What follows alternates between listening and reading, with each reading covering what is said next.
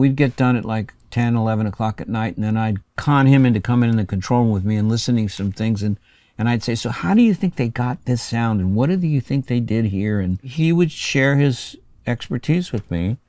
And then I would just think about it and start developing things.